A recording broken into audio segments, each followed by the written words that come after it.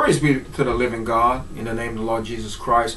We want to talk about today accepted in the beloved. What does that really mean that you and I have been accepted in the beloved?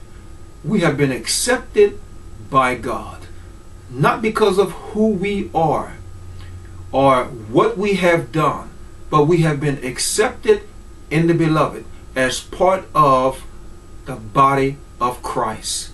Not because we are perfect, because God first chose us from the foundation of the earth. Before he created the foundation of the earth, before he said, Let there be light, he foreknew that you and I would be children of the living God. Glory be to the living God. Isn't that a powerful testimony for you and I today? To know that God chose us before the foundations of the earth and have predestined us to be in the body of Christ. I know a lot of people can't seem to grasp that or understand that because they said that's false theology that can't really be true, then we need to throw out everything that Paul has written. Because this is what he is saying, this is what he is establishing. And It is difficult for us to be able to understand it because we can't understand truly the mind of God. It is not our mind that can understand God, but it's God's mind who can understand who we are. And that's why we need to go to the Father because the word says, if any man lacks wisdom, let him go to the Father who hold it back not, but he gives to that person who is seeking truly what the truth is. And the truth is that you are accepted in the beloved. Even when you don't feel like it, even though when you think that you have sinned your way out, you are accepted in the beloved. Now look what he says in the sixth verse.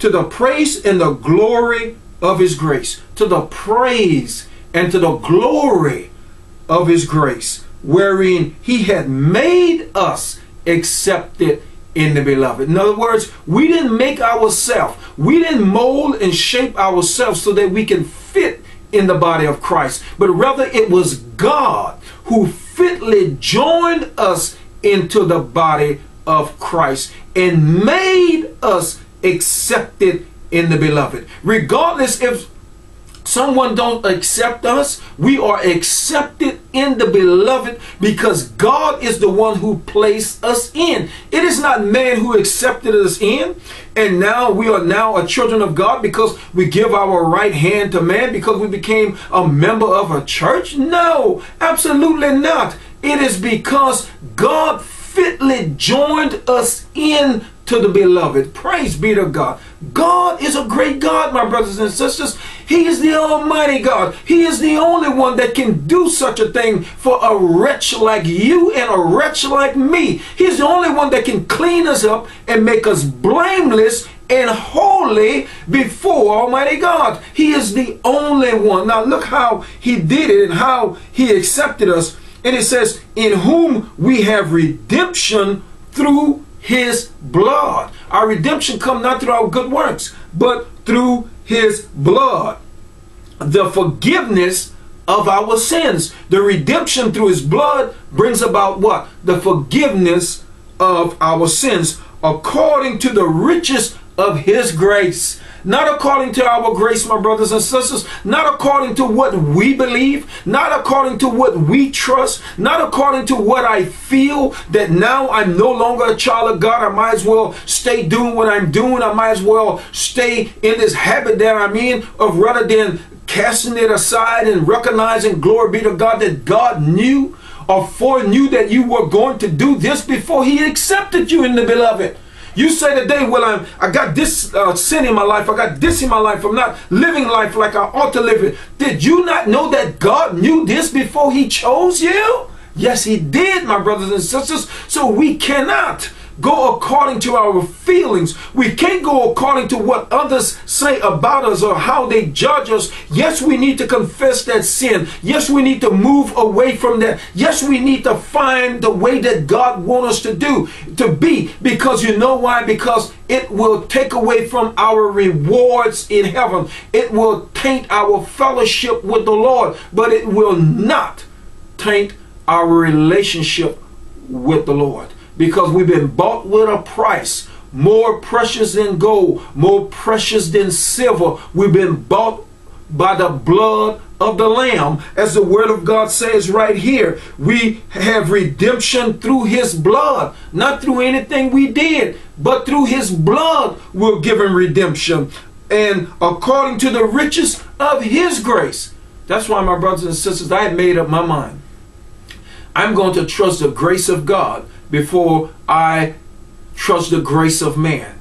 Because the grace of man will run short and it will run short quickly. Because man is a respecter of persons even though God tells us not to be. But he is a respecter of persons and his grace will run out on you quickly. But I want to thank God that we can trust his grace that continuously pour out on and over and over and over and over again. Glory be to God. And some of us want, want some of us want to believe that God's grace runs out.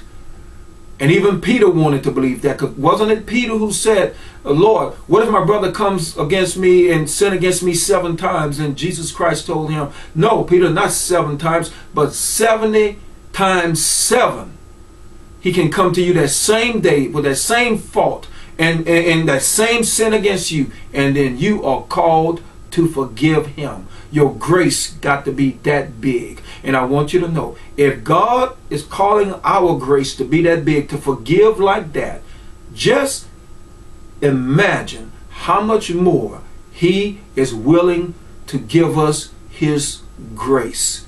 Glory be to the living God. If only we can understand the magnitude of His grace, we will quit worrying about, Lord, are you able to keep me? are you that bad that the Lord cannot keep you? The Lord would have kept the devil if the devil was willing to come down off of his mount and repent and turn away. But he didn't. And I don't believe a child of God today is caught in that kind of condition. He may have walked out. He may be doing his own thing like the prodigal son. But I want you to know the father was there waiting for him. And that's the same way the father is waiting for you to come back. Your relationship has not changed but your fellowship has been tainted. Come back. God bless you and keep you.